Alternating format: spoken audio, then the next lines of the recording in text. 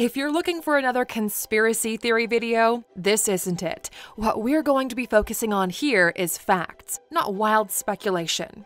It's appeared in thousands of Twitter hashtags. It's been trending on Facebook and YouTube, and on sites known for more extremist views. And with many of those posts containing some pretty far out claims, it's easy to lose sight of what the Great Reset actually is, which is why we thought we'd focus on that today. Number 1. It's a proposal by the World Economic Forum to make business fairer and greener cutting out all the hype and conspiracy theories, and that's what it is a proposal by the World Economic Forum. That's the organization of business leaders who meet up in Davos every year. According to their mission statement, they aim to improve the state of the world by engaging business, political, academic, and other leaders of society to shape global, regional, and industry agendas. In May 2020, they published an article arguing that the pandemic provided an opportunity to reset and reshape the global economy in a way that works better for people and the planet, to reduce poverty, to make sure tech gets used so everyone can benefit, and to make industry greener. And the title was The Great Reset. And speaking of some of the most pressing issues, let's just take a minute to remind you that we cover quite a few of them here at ALUX. So to stay in the loop, be sure to hit that subscribe button if you haven't already for more quality content every day. Number 2. Some healthy skepticism is justified. To be fair, you don't have to be a tinfoil hat wearing nutjob to be a little skeptical about what it is. Sure, the aims sound great, but a lot of people have reasonably pointed out the WEF is an exclusive club of super wealthy business leaders. Their membership costs north of $67,000 a year. Yep, it's that exclusive. Not that we're criticizing them for being rich, that's not what we do at ALUX. But when it comes to talking about how the world's going to move forward, it's fair to be a little concerned that, well, the WEF are pretty far removed from representing the world's population, and that, just maybe, their stated mission to fix those problems could be more about repairing their own image after effing up the environment in the first place. Sounds a little left wing for a luxury channel like ALUX? Well, even Forbes agrees. Check out John Mauldin's article, where he says the Great Reset probably won't actually do very much, but it's more likely another example of wealthy, powerful elites saving their conscience with faux efforts to help the masses. Number 3. But some theories about it go far beyond fact. Like we said, being skeptical of the World Economic Forum is fair enough. But when anti lockdown protesters and bloggers start talking about a global elite using the pandemic to roll out radical policies like forced vaccinations, digital ID cards, and even giving up private property, well, you're free to say those things, but if you want us to take you seriously, at least give us some evidence. Like claims the virus doesn't even exist. Well, healthcare professionals kinda disagree with you on that one and we think that of all the people, they should know. Or that vaccines contain microchips to keep track of you. Hello, those already exist, like in your phone. Theories like these often talk about the Great Reset as an attempt to reorganize the world economy at the expense of ordinary people and create totalitarian regimes while pretending to do the opposite. And what makes them seem so far out isn't that they sound, well, far out, but simply that they don't have a shred of evidence to back anything up. Number 4. But more and more people are taking them seriously. The worrying thing is, theories like these aren't limited to the loons on the fringes of society. They're becoming more and more widespread in the mainstream. Case in point, in October last year, a survey found that an alarming number of people believe the COVID 19 fatality rate has been greatly exaggerated and believe it was either created on purpose, has killed far fewer people than reported, or just plain doesn't exist. 38% of Americans believed that, and so did 28% of Germans. Countries with even higher figures include Greece, where 46% suspect it's a hoax, and in Nigeria, where that figure is 59%. Number 5. Theories like these spread fast on the internet. and they're being spread by people from all corners, some which you wouldn't really expect, like an archbishop.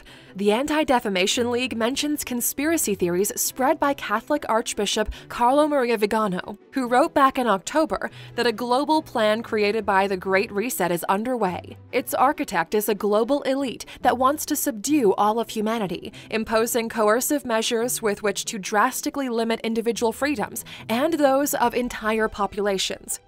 Number 6. And ideas like these go back well before the pandemic. Hearing of theories of so called reptilians? Yep, theories like those are coming into the mix here. Just in case you haven't heard of this one, it's the idea that many world leaders are in fact blood drinking, flesh eating lizards disguised as humans, and that they've been doing this kind of thing for a long time, like they engineered 9 11. We know a lot of you have heard this stuff before, but if you haven't, we promise we didn't make it up. Check out this link. Number 7 the World Economic Forum doesn't even have any authority over governments. Keep this in mind if you're making claims about how the WEF is taking over the world. The fact is, they can't just tell governments what to do. Unlike, say, the UN or the IMF, which are made up of governments who have to play by the rules that are set, the WEF isn't like that. It's basically a club of super rich people who come up with ideas, and yes, they do have influence, but despite what some people think, they can't and simply don't order around governments. Number 8. The theories really started when Justin Trudeau mentioned the word reset at the UN. When the WEF first mentioned the Great Reset in May, it didn't even cause that much of a buzz. November was when the theories really took off when Canadian Prime Minister Justin Trudeau made a speech at the United Nations and used the R word, causing Twitter to go insane. Things he actually said were the pandemic has provided an opportunity for a reset, and this is our chance to accelerate our pre pandemic efforts to reimagine economic systems that actually address global challenges like extreme poverty, inequality, and climate change. To be honest, it sounds pretty reasonable, but somehow it led to the Great Reset trending on Twitter with 80,000 tweets in a single day. A lot of those tweets claim that Trudeau is somehow at the bidding of the WEF in their plan for world domination, which seems quite a bit less reasonable, especially if they're basing it entirely on Trudeau choosing to use the word reset. Not exactly an uncommon word, is it? However, Number 9. The Great Reset does actually have some pretty bad PR. Which is surprising when you consider how much funding the WEF has to spend on it. A lot of people pointed out that the videos do come across as kinda cheesy, even hypocritical, as the WEF are big business and at least partly to blame for the problems they're talking about. Not to mention that Prince Charles is doing the commentary for the video, which is sure to get the tinfoil hat brigade talking. They're already convinced he's a reptilian. The point is, bad PR is never a good thing, but it's extra unfortunate in this case because it's led to more people believing some totally unfounded theories. Number 10. The Great Reset is big on green infrastructure investments. Okay, let's go back to what the Great Reset actually says. Even if it's long and confusing, probably the biggest point it makes is that we need to encourage green investments, specifically when governments make a recovery stimulus. In other words, print a load of money to make the handouts and keep the economy going. Those handouts have to include green conditions. Encouraging green solutions has got to be a good thing. It's hard to disagree with that part, but it's not necessarily all good. Here at ALUX, we've said before that when governments print money like crazy, we're all going to have to pick up the bill somehow, often with inflation. Check out our video on 15 reasons why money is becoming worthless. Number 11. It's also big on carbon pricing cutting down on emissions.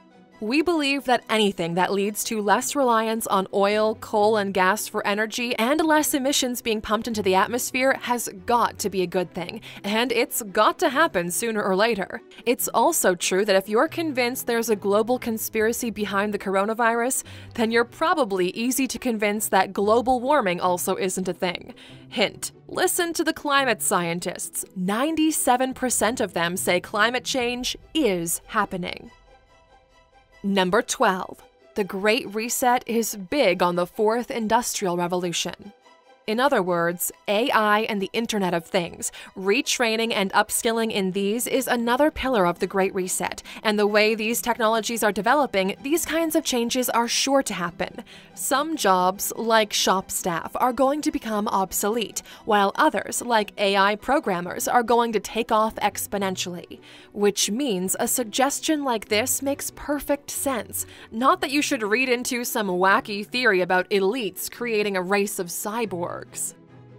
Number 13. It's also big on remote work. The Great Reset says the future of work is largely remote, and we need to make sure the technology is in place to speed up the transition from working in offices to remote. Again, hard to argue with. The pandemic has shown us that we don't need to spend hours in traffic commuting to and from work, and that companies don't need to spend millions on renting office space. Making sure things are in place for remote work to run more smoothly is going to mean more efficiency and more time spent doing things that are actually valuable to us. Number 14. It is a fact that over the pandemic, the poor have gotten poorer and the rich have gotten richer. Let's wrap up about how these theories spread so easily. Yep, the rich are getting richer and the poor are getting poorer sounds like a cliche, but it is happening. Billionaires did get richer in the pandemic, and the poorest sectors of society suffered the most. And it is impossible to even try to argue it's a good thing. However, is that evidence that global elites were behind COVID to make themselves richer? Of course not. What it does point to is the fact there are parts of our global economy that are in desperate need of fixing. Number 15. Put it all together, and unfortunately, you've got fertile ground for conspiracy theories. There's a virus. Even if some people don't believe it exists, it leads governments to impose lockdowns to stop deaths. And the ripple effect of that is that wealth is transferred from the poor to the rich. Of course, people are going to be frustrated and get angry with governments when they act incompetently, which many of them did. What it doesn't mean is that global elites fabricated it all. But when you combine that frustration with wacky theories on the internet, we've got fertile ground for those theories to breed. And then the WEF says they want to reset the economy, even if a lot of ideas look good. What do you get? People translate that they're aiming at world domination. So, Aluxers, what do you think of the Great Reset and the ideas behind it? Share your thoughts in the comments. And of course, here's your bonus for sticking with us until the end. The Great Reset is also big on paying attention to experts. No surprise when the World Economic Forum is largely composed of experts and invites experts in as speakers. And even if it's become unfashionable to trust experts, for those of us who aren't experts on a given topic, do we really have a better option? True, experts can be paid off to publish sketchy findings. We're not saying it never happens, and sure, experts can make mistakes, they're human.